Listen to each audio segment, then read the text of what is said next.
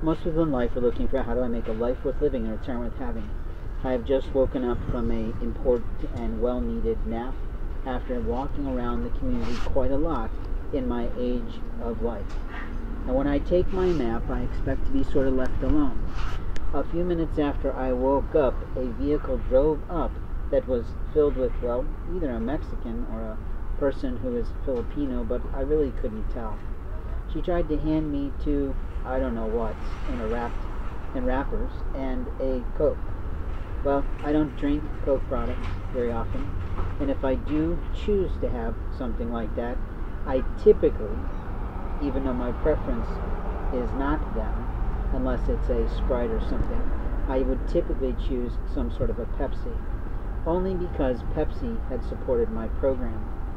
The reason I choose loyalty is because when I was impoverished, driving in my marvelously fully paid for business vehicle, Pepsi supported me.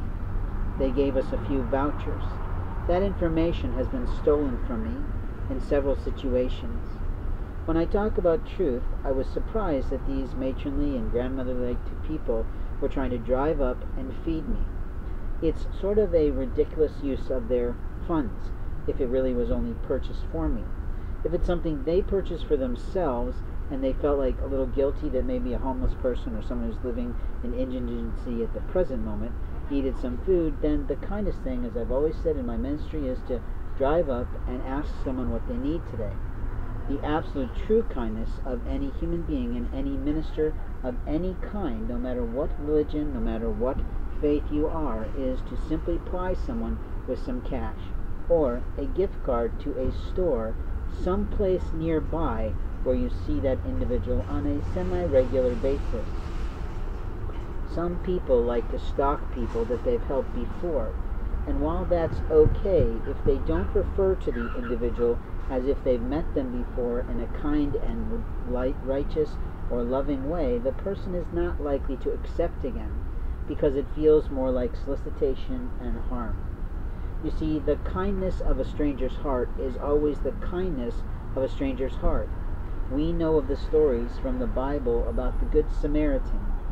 And the Good Samaritan, and, and maybe I said that wrong because I'm, you know, learning this at five years old, and we don't always remember things in their pronunciation correctly, was the only person of the several people that drove by someone who was like me, someone in poverty, someone who had been beaten up and stolen from. And openly you're expecting that total stranger to reach out to a community that is abusive. I'm afraid that's not going to happen from an educated person. We have marvelous people that like to abuse people, that like to kill items in the road, and openly it's usually done by a marvelous truck. What we know in marketing is what color vehicles are people who are real, people who are sincere, and people who love on people. What we also know from marketing statistics are what houses are safe what safe what safe houses are not safe and why.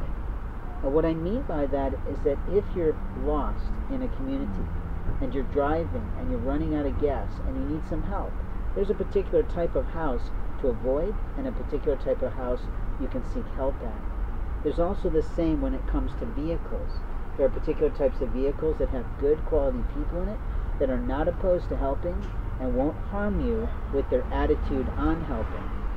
There are different types of people who drive different types of vehicles and they won't help at all, even though their education and their influence and their affluence would totally allow them to do that without a moment's feeling to their life at all. Isn't that interesting that the people of great wealth are often most miserly about other people's lives, and the people who come out of poverty regularly are more generous than most?